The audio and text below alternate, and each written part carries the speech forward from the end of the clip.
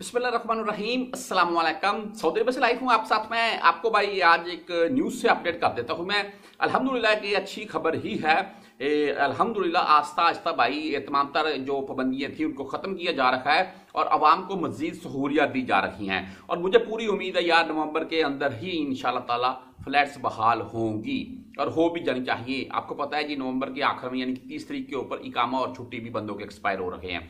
तो बहरहाल, आज की न्यूज़ के मतलब बात कर लेते हैं। वो ये है, जद्दा के एयरपोर्ट के ऊपर ये सहूलत मुतारफ करवा दी गई है। अगर आप जद्दा से सफ़र करते हैं, पाकिस्तान या इंडिया या बांग्लादेश के लिए, या कहीं भी और के लिए यानी कि तो अक्सर ऐसे होता था कि हाल ही में मेरा एक दोस्त जा चुका है जी, उसका भाई चार पाँच किलो सामान ज़्यादा था तो उसने निकाल कर फिर पीछे जो साथ उसके यानी कि उसका दोस्त, उसको छोड़ने गया हुआ था एयरपोर्ट के ऊपर, उसको वापस किया था तो अभी एयरपोर्ट के ऊपर भाई कार्गो की सर्विस मुतारफ करवा दी गई है। अच्छा यहाँ पर उसके मतलब आपको कुछ पिक्चर भी मैं दिखाता जाऊँगा। होगा क्या भाई?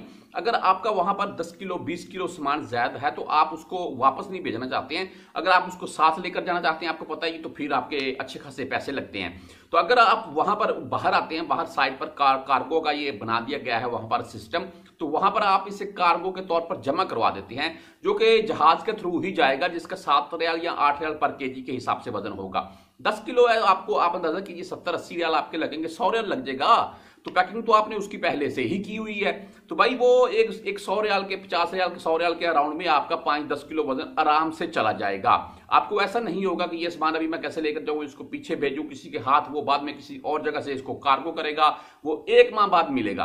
तो ये सिस्टम अभी खत्म होगा। आप अगर वहाँ पर आप देखेंगे, आप अगर वहाँ पर ये सहूलत लेना चाहती हैं तो वहाँ पर आप जद्दा एयरपोर्ट के ऊपर आपको ये सहूलत भी अभी दे दी गई है।